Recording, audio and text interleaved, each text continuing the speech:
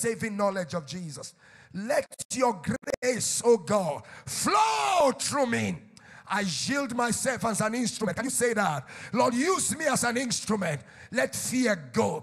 Let there be accurate word of knowledge, word of wisdom. Let there be distinguishing between spirits. Let a discerning ability come sharp. Help us to manifest in the supernatural dimension. And let your name alone be glorified.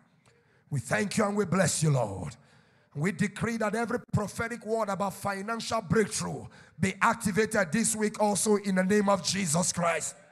That in this month of high praise, God will put testimonies in your mouth that will cause your praise to continually go back to Him. Thank you, our Father. In Jesus' mighty name we pray.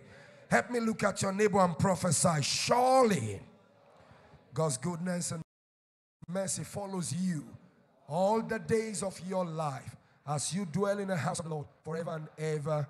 Amen. God bless you. Shake your brother and your sister. If your names were called, the meeting holds now. God bless you.